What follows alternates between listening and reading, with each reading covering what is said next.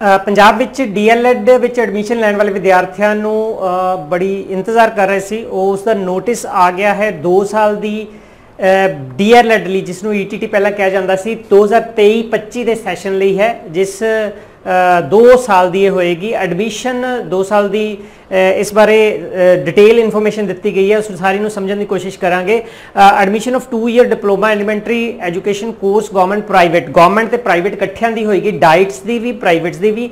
As per national council of teacher education recognised 2014 ਦੇ act ਦੇ ਅਨੁਸਾਰ ਬੇਸਡ ਔਨ ਐਂਟਰੈਂਸ ਟੈਸਟ ਹੋਏਗਾ undertaken by state council SCERT ਦੁਆਰਾ ਹੋਏਗਾ।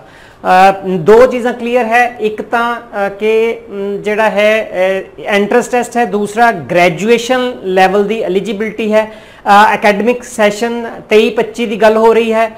ਮਿਨੀਮਮ ਐਜੂਕੇਸ਼ਨ ਕੁਆਲੀਫਿਕੇਸ਼ਨ ਇਹ ਜਾਣ ਲੈਣਾ ਜ਼ਰੂਰੀ ਹੈ। 50% ਮਾਰਕਸ ਤੁਹਾਨੂੰ ਚਾਹੀਦੇ ਨੇ ਗ੍ਰੈਜੂਏਸ਼ਨ ਦੇ ਵਿੱਚੋਂ। ਇੱਥੇ ਅੰਡਰਲਾਈਨ ਕਰਦਾ, ਕਿਉਂਕਿ ਇਹ ਮੁੱਦਾ ਬਣਿਆ ਹੋਇਆ ਹੈ।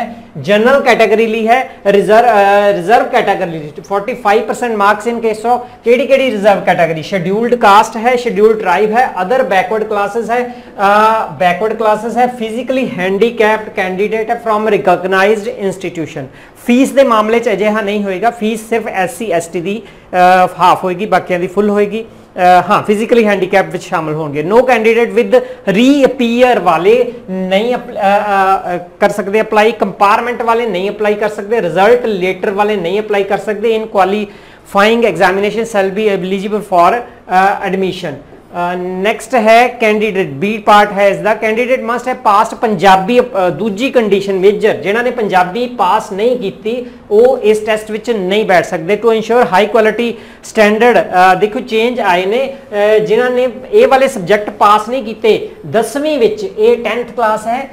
10ਵੀਂ ਵਿੱਚ ਇੰਗਲਿਸ਼ ਨਹੀਂ ਪੜ੍ਹੀ ਹਿੰਦੀ ਨਹੀਂ ਪੜ੍ਹੀ ਪੰਜਾਬੀ ਨਹੀਂ ਪੜ੍ਹੀ ਸਾਇੰਸ ਨਹੀਂ ਪੜ੍ਹੀ ਸੋਸ਼ਲ ਸਟੱਡੀ ਨਹੀਂ ਪੜ੍ਹੀ ਮੈਥਸ ਨਹੀਂ ਪੜ੍ਹਿਆ। ਉਹ ਇਸ ਟੈਸਟ ਲਈ ਡੀਐਲਐਡ ਲਈ ਪੰਜਾਬ ਲਈ ਐਲੀਜੀਬਲ ਨਹੀਂ ਨੇ ਕਿਉਂਕਿ ਇਹੀ ਸਬਜੈਕਟ ਉਹਨਾਂ ਨੇ ਪ੍ਰਾਇਮਰੀ ਲੈਵਲ ਤੇ ਟੀਚ ਕਰਨੇ ਨੇ। ਸੋ ਐਗਜ਼ਾਮੀਨੇਸ਼ਨ ਵਿੱਚ ਉਹ ਬੈਠ ਨਹੀਂ ਸਕਦੇ ਉਹ ਐਲੀਜੀਬਲ ਨਹੀਂ ਨੇ। ਡਿਊਰੇਸ਼ਨ ਕਿੰਨੀ ਹੋਏਗੀ? ਅ, ਇਸ ਦੀ 2 ਸਾਲ ਦਾ ਕੋਰਸ ਹੈ। ਨਾਰਮਲੀ ਇਹ ਸਭ ਪਤਾ ਹੈ ਨਵੀਂ ਇਨਫੋਰਮੇਸ਼ਨ ਨਹੀਂ ਹੈ। ਵਰਕਿੰਗ ਆਵਰ ਦੱਸੇ ਨੇ ਕਿੰਨੇ ਹੋਣਗੇ?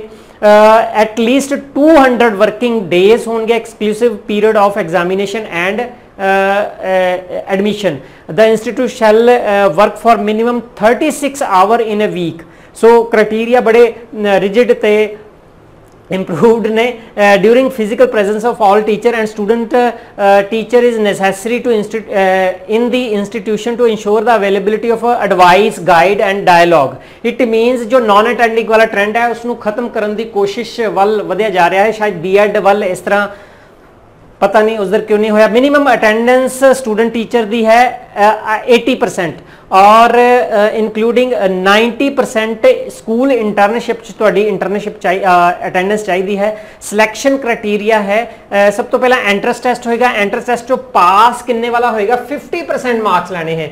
ਯਾਦ ਰੱਖੋ ਬੀਐਡ ਦਾ ਐਂਟਰੈਂਸ ਟੈਸਟ ਹੋਇਆ ਸੀ 25% ਸੀ। ਤੇ ਇੱਥੇ 50 ਹੈ ਇਟ ਮੀਨਸ ਈਟੀਟੀ ਦੀ ਕੁਆਲਿਟੀ ਬੈਟਰ ਕੀਤੀ ਜਾਣ ਦੀ ਕੋਸ਼ਿਸ਼ ਕੀਤੀ ਜਾ ਰਹੀ ਹੈ। ਐਗਰੀਗੇਟ ਐਂਡ 5% ਰਿਲੈਕਸੇਸ਼ਨ ਮਿਲੇਗੀ ਸਿਰਫ ਦੋ ਜਣਿਆਂ ਨੂੰ। ਕਿਹੜੇ ਨੇ? ਕੁਆਲੀਫਾਈ ਮਾਰਕ ਕਿਹੜੇ ਨੇ? Aggregate relaxation of qualifying entrance will be given to reserve category as per guidelines of government of Punjab reserve category ਲਿਖਿਆ ਹੈ। ਕਿਹੜੀ ਕਿਹੜੀ ਕੈਟਾਗਰੀ ਇਹ ਨਹੀਂ ਦੱਸਿਆ ਗਿਆ। The enter test will be conducted SCRT and date of and uh, date syllabus structure ਜਿਹੜਾ ਹੈ ਉਹ ਜਲਦੀ ਹੀ ਅਪਲੋਡ ਕਰ ਦਿੱਤਾ ਜਾਏਗਾ। ਹਜੇ ਅਪਲੋਡ ਨਹੀਂ ਕੀਤਾ। ਇਟ ਮੀਨਸ ਤਿਆਰੀ ਤੁਹਾਨੂੰ ਸ਼ੁਰੂ ਕਰ ਦੇਣੀ ਚਾਹੀਦੀ ਹੈ। ਮੈਕਸਿਮਮ ਏਜ ਵੀ ਨਿਰਧਾਰਤ ਹੈ। ਅਜੀਬ ਗੱਲ ਹੈ ਬੀਐਡ ਵਿੱਚ ਨਹੀਂ ਹੈ। ਇਹਦੇ ਵਿੱਚ ਹੈ 36 ਸਾਲ ਹੈ। ਕਿਉਂਕਿ ਇਹ ਕੇਸ ਉਸ ਦਾ ਰੈਫਰੈਂਸ ਦਿੱਤਾ ਗਿਆ ਹੈ। ਹੈਨਾ? ਹਾਂ 5 ਸਾਲ ਦੀ ਰਿਲੈਕਸੇਸ਼ਨ ਜਿਹੜੀ ਹੈ with 5 year relaxation of SC and ST ਹੈ। OBC ਇੱਥੇ ਨਹੀਂ ਲਿਖਿਆ ਹੋਇਆ, ਇਹ ਗੱਲ ਵੀ ਸਮਝ ਲੈਣੀ ਚਾਹੀਦੀ ਹੈ। ਰਿਜ਼ਰਵੇਸ਼ਨ ਪਾਲਿਸੀ ਜੋ ਗਵਰਨਮੈਂਟ ਦੀ ਹੈ, ਪੰਜਾਬ ਗਵਰਨਮੈਂਟ ਦੀ ਉਹੀ ਰਹੇਗੀ। ਜੇਕਰ ਦੋ ਜਣਿਆਂ ਦਾ ਸਕੋਰ ਟਾਈ ਕਰ ਜਾਂਦਾ ਹੈ ਫੋਰ ਐਗਜ਼ਾਮਪਲ ਇੱਕ ਬੱਚੇ ਦੇ 70 ਮਾਰਕਸ ਆ ਜਾਂਦੇ ਆ ਦੂਸਰੇ ਦੇ ਵੀ 70 ਮਾਰਕਸ ਆ ਜਾਂਦੇ ਆ ਤੇ ਜੇ ਇਹਨਾਂ ਦੀ ਏਜ ਵਧੇਰੇ ਹੈ ਤਾਂ ਇਹ ਮੈਰਿਟ ਵਿੱਚ ਅੱਗੇ ਹੋਣਗੇ। ਹਾਂ, ਜੇ ਇਹਨਾਂ ਦੀ ਏਜ ਵੀ ਡੇਟ ਆਫ ਬਰਥ ਵੀ ਮੰਨ ਲਓ 20 ਜਨਵਰੀ 2000 ਦਾ ਜਨਮ ਹੈ। ਇਹਨਾਂ ਦਾ ਵੀ 20 ਜਨਵਰੀ 2000 ਦਾ ਜਨਮ ਹੈ ਤੇ ਇਹਨਾਂ ਦੇ ਇਹ ਵੀ ਮਾਰਕਸ ਵੀ ਮੈਚ ਕਰ ਗਏ ਡੇਟ ਆਫ ਬਰਥ ਵੀ ਮੈਚ ਕਰ ਗਈ ਤੇ ਫਿਰ ਇਹਨਾਂ ਦੇ ਗ੍ਰੈਜੂਏਸ਼ਨ ਦੀ ਪ੍ਰੈਫਰੈਂਸ ਦੇਖੀ ਜਾਏਗੀ ਕਿ ਗ੍ਰੈਜੂਏਸ਼ਨ ਦੇ ਸਕੋਰ ਆ ਦੇਖੋ ਲਿਖਿਆ ਗ੍ਰੈਜੂਏਸ਼ਨ ਦੇ ਸਕੋਰ ਕਿਹਦੇ ਜ਼ਿਆਦਾ ਹਨ, ਉਹ ਅੱਗੇ ਚਲੇ ਜਾਏਗਾ। ਸੋ ਏਜ ਪਹਿਲਾ ਹੈ, ਦੂਜੇ ਨੰਬਰ ਤੇ ਗ੍ਰੈਜੂਏਸ਼ਨ ਹੈ। ਆਨਲਾਈਨ ਜਿਹੜੀ ਹੈ ਫੀਸ ਹੈ general category OBC BC freedom fighter sports ਤੇ ਇਕਨੋਮਿਕਲੀ ਵੀਕਰ ਸੈਕਸ਼ਨ ਦੇ 1000 ਰੁਪਏ ਹੀ ਹਨ। ਇਕਨੋਮਿਕਲ ਵੀਕਰ ਸੈਕਸ਼ਨ ਵੀ 1000 ਹੀ ਦੇਣੇ ਵੀ। ਸ਼ਾਬਾਸ਼। 500 ਰੁਪਿਆ SC ST ਹੈਂਡੀਕੈਪ ਕੈਟਾਗਰੀ ਲਈ ਹੈ। ਕੋਈ ਫੀਸ ਨਹੀਂ ਹੈ। ਐਕਸ ਸਰਵਿਸਮੈਨ ਸੈਲਫ ਲਈ।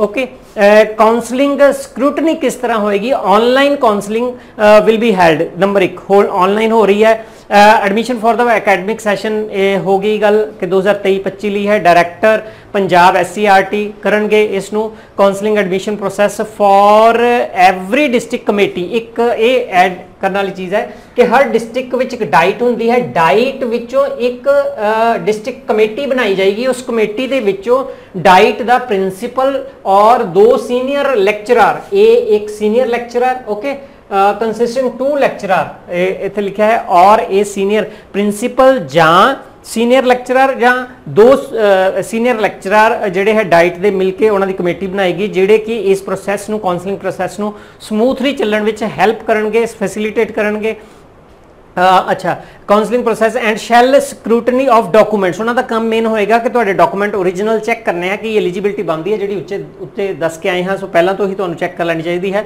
Candidate who are provisionally allotted the institute through the online centralised counselling 3 phases online counselling will be held and ਤਿੰਨ ਹਿੱਸਿਆਂ ਵਿੱਚ ਇਹ ਕਾਉਂਸਲਿੰਗ ਹੋਣੀ ਹੈ। ਮੇਰੇ ਖਿਆਲ ਵਿੱਚ ਸਭ ਕੁਝ ਛੱਡ ਕੇ ਸਭ ਤੋਂ ਪਹਿਲਾਂ ਆਪਣੀ ਐਲੀਜੀਬਿਲਟੀ ਚੈੱਕ ਕਰ ਲੈਣੀ ਚਾਹੀਦੀ ਹੈ। ਜਿਹੜੇ ਨਹੀਂ ਐਲੀਜੀਬਲ ਉਹਨਾਂ ਨੂੰ ਐਲੀਜੀਬਿਲਟੀ ਵੱਲ ਧਿਆਨ ਦੇਣਾ ਚਾਹੀਦਾ ਹੈ। ਜਿਹੜੇ ਐਲੀਜੀਬਲ ਉਹਨਾਂ ਨੂੰ ਐਂਟਰੈਂਸ ਟੈਸਟ ਵੱਲ ਧਿਆਨ ਦੇਣਾ ਚਾਹੀਦਾ ਹੈ।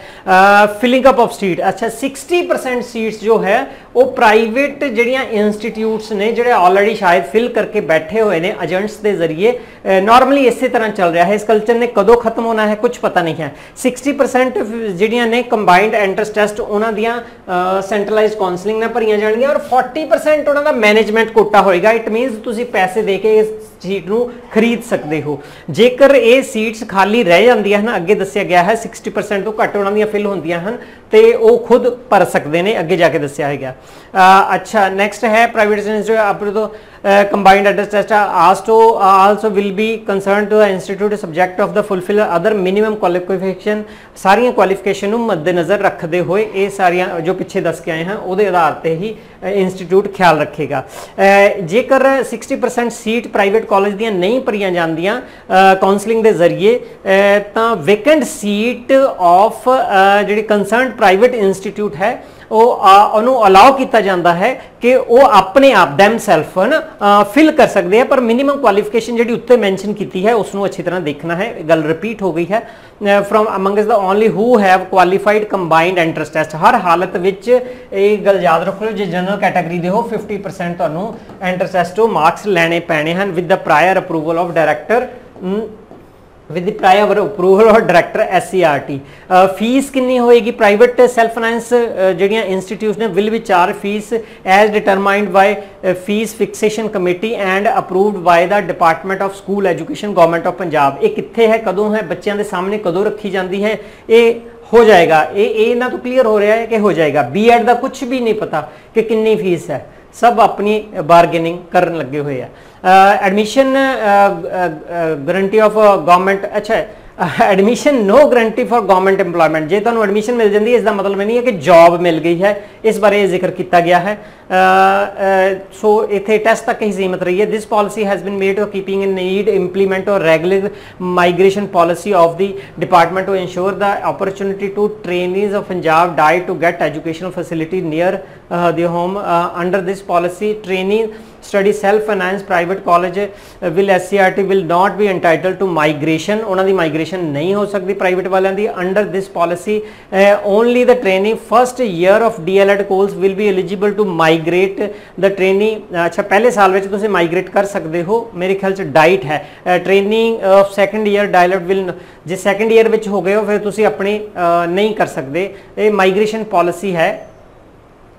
ਸੋ ਸੀਟਸ ਜਿਹੜੀਆਂ ਅਲਾਟ ਹੋ ਚੁੱਕੀਆਂ ਨੇ।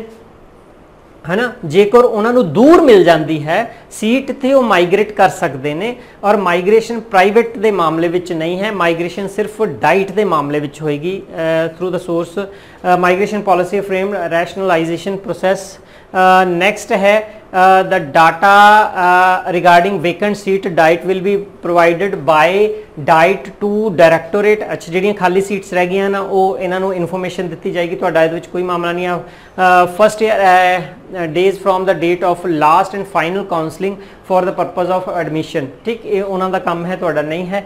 Mm, as the consequences of date regarding vacant seats director uh, would upload this data on website within 7 days. Okay ਤੁਹਾਨੂੰ ਪਾਰਦਰਸ਼ੀ ਰਹੇਗੀ ਕਿ ਕਿੰਨੀਆਂ ਸੀਟਸ ਖਾਲੀਆਂ ਪਈਆਂ ਨੇ। ਸੈਕੰਡ ਕਾਉਂਸਲਿੰਗ ਵਿੱਚ ਤੁਹਾਨੂੰ ਪਤਾ ਲੱਗੇ ਸੈਕੰਡ ਫੇਜ਼ ਵਿੱਚ ਹੈ ਨਾ ਪਤਾ ਲੱਗ ਜਾਏਗਾ। From date of receipt of a date subsequently with the invite application migration candidate interested in migration may after apply the migration online uh, within one week for, uh, from public notice so migration ਜੇਕਰ ਦੂਰ ਮਿਲ ਗਈ ਹੈ migration ਹੋ ਸਕਦੀ ਹੈ ਤੁਸੀਂ aware ਰਹਿਣਾ ਹੈ within one week ਤੁਸੀਂ ਅਪਲਾਈ ਕਰਨਾ ਹੈ migration will be done according to the categories uh, ਜਿਹੜੀ ਇਸ ਕਲਾਸੀਫਿਕੇਸ਼ਨ ਹੈ SC ST ST ਹਨਾ ਸਬਜੈਕਟ ਕੰਬੀਨੇਸ਼ਨ ਇਹਦੇ ਵਿੱਚ ਨਹੀਂ ਹੁੰਦੇ that is if a general category seat is vacant in DIET then only general category trainee will be migrated to the that seat and same applied to other ਹਨਾ SC ਦੀ seat SC ਨੂੰ ਮਿਲੇਗੀ general ਦੀ ਹਨਾ the reservation ਦੀ policy ਦੀ ਇੱਥੇ apply ਨਹੀਂ ਦਿਖਾਈ ਦੇ ਰਹੀ the same will apply SC okay BC the BC ਨੂੰ ਜਾਏਗੀ ਐਕਸ ਸਰਵਿਸਮੈਨ ਦੀ ਐਕਸ ਸਰਵਿਸਮੈਨ ਜਾਏਗੀ ਫਰੀडम ਫਾਈਟਰ ਦੀ ਫਰੀडम ਫਾਈਟਰ ਨੂੰ ਜਾਏਗੀ, ਇੰਨੀ ਗੱਲ ਹੈ। ਇਨ ਮਿਊਚੁਅਲ ਮਾਈਗ੍ਰੇਸ਼ਨ ਮਤਲਬ ਇੱਕ ਬੱਚਾ ਇਧਰੋਂ ਉਧਰ ਜਾਣਾ ਚਾਹੁੰਦਾ ਹੈ, ਦੂਸਰਾ ਇਧਰੋਂ ਉਧਰ ਜਾਣਾ ਚਾਹੁੰਦਾ ਹੈ ਹੈ ਨਾ? ਇੱਕ ਕਾਲਜ ਤੋਂ, ਇਹ ਉਹਨੂੰ ਦੂਰ ਪੈਂਦਾ, ਇਹ ਉਹਨੂੰ ਦੂਰ ਪੈਂਦਾ। ਪਰ ਜੇ ਮਾਈਗ੍ਰੇਟ ਹੋ ਜਾਂਦੇ, ਨੇੜੇ ਪਹੁੰਚ ਜਾਂਦੇ ਆ। ਇਸ ਤਰ੍ਹਾਂ ਮਿਊਚੁਅਲ ਮਾਈਗ੍ਰੇਸ਼ਨ ਹੈ। After receiving the written consent from the concerned heads of the institute for example ਇਹ ਵੀ ਇੰਸਟੀਟਿਊਟ ਅਲਾਉ ਕਰਦਾ ਹੈ। ਇਹ ਵੀ ਇੰਸਟੀਟਿਊਟ ਅਲਾਉ ਕਰਦਾ ਹੈ ਰਿਟਨ ਓਕੇ ਫਿਰ ਇਹ ਬੱਚਾ ਇੱਧਰ ਜਾ ਸਕਦਾ ਹੈ, ਇੱਧਰ ਵਾਲਾ ਬੱਚਾ ਇੱਧਰ ਆ ਸਕਦਾ ਹੈ। ਇਹ ਵੀ ਅਲਾਉ ਹੈ। ਤੁਹਾਡੀ ਗੁੱਡ ਗੱਲ ਹੈ। government holds the authority to give preference of handicap and trainees suffering from chronic disease. ਸੋ ਉਹਨਾਂ ਦਾ ਜਿਹੜਾ ਲਾ 2016 ਦਾ ਬਣਿਆ ਹੋਇਆ ਹੈ students within long absent will not be considered for migration non attending ਨੂੰ ਭੁੱਲਣਾ ਸ਼ੁਰੂ ਕਰ ਦੋ ਗਵਰਨਮੈਂਟ ਸਟੈਪ ਲੈ ਰਹੀ ਹੈ। No mid term filling of seats ਨਹੀਂ ਹੋਏਗੀ ਮਿਡ ਟਰਮ ਵਿੱਚ ਹੈ ਨਾ ਫਾਲਸ ਡਾਕੂਮੈਂਟ ਲਈ ਤੁਹਾਨੂੰ ਅਪਰਾਧੀ ਘੋਸ਼ਿਤ ਕੀਤਾ ਜਾ ਸਕਦਾ ਹੈ। ਐਡਮਿਸ਼ਨ ਉਹ candidate of on the false forge ਨਕਲੀ ਕੈਂਡੀਡੇਟ ਜਿਹੜੇ ਡਾਕੂਮੈਂਟ ਨੇ ਤੁਹਾਡੇ, ਫਿਰ ਉਹ ਤੁਹਾਡੀ ਐਡਮਿਸ਼ਨ ਕੈਨਸਲ ਕਰ ਦਿੱਤੀ ਜਾਏਗੀ। ਕ੍ਰਿਮੀਨਲ ਕੇਸ ਹੋ ਸਕਦਾ ਹੈ ਤੁਹਾਡੇ ਤੇ। ਰੀਐਡਮਿਸ਼ਨ ਵਗੈਰਾ 3 ਸਾਲ ਲਈ ਤੁਸੀਂ ਐਡਮਿਸ਼ਨ ਲਈ ਨਹੀਂ ਆ ਸਕਦੇ ਜੇ ਸਾਫ਼ ਸੁਥਰੇ ਹੋ ਕੇ ਆ ਜਾਂਦੇ ਹੋ। Kamal Kishore Yadav IAS secretary of government of Punjab department of school so ਇਹ ਇਨਫੋਰਮੇਸ਼ਨ ਸੀ। ਕੁਝ ਹੋਰ ਤੁਹਾਡੇ ਰਿਗਾਰਡਿੰਗ ਤੁਸੀਂ ਗੱਲ ਕਰਨੀ ਹੋਵੇ, ਕਰ ਸਕਦੇ ਹੋ। ਆਪਣੇ ਟੈਸਟ ਦੀ ਤਿਆਰੀ ਸ਼ੁਰੂ ਕਰੋ। ਸਭ ਤੋਂ ਪਹਿਲਾਂ ਆਪਣੀਆਂ 10th ਦੀਆਂ ਕਿਤਾਬਾਂ ਪੜ੍ਹਨੀਆਂ ਸ਼ੁਰੂ ਕਰੋ। ਜੋ ਆਪਣੇ ਸਬਜੈਕਟ ਨੇ ਹੈ ਨਾ ਜਿਹੜੇ ਜਿਹੜੇ ਨੈਚੁਰਲੀ ਹੈ ਸਾਰੇ subject Hindi, Punjabi English maths ਆਣਗੇ ਸੋ ਜਿਹੜੇ ਚ ਵੀਕ ਹੈ ਉਸ ਨੂੰ ਜ਼ਿਆਦਾ ਮਿਹਨਤ ਕਰੋ, ਡਰਨ ਦੀ ਲੋੜ ਨਹੀਂ ਹੈ 50% ਆਰਾਮ ਨਾਲ ਲਏ ਜਾ ਸਕਦੇ ਹਨ। ਕੁਝ ਸਟ੍ਰੈਟਜੀਜ਼ ਹੈ, ਮੈਂ ਕੋਸ਼ਿਸ਼ ਕਰਾਂਗਾ ਸਟ੍ਰੈਟਜੀਜ਼ ਤੇ ਕੁਝ ਵੀਡੀਓ ਕੁਝ ਐਕਸਰਸਾਈਜ਼ ਦੇ ਕੁਐਸਚਨ ਤੁਹਾਡੇ ਨਾਲ ਸ਼ੇਅਰ ਕਰਦਾ ਰਵਾਂ। Thank you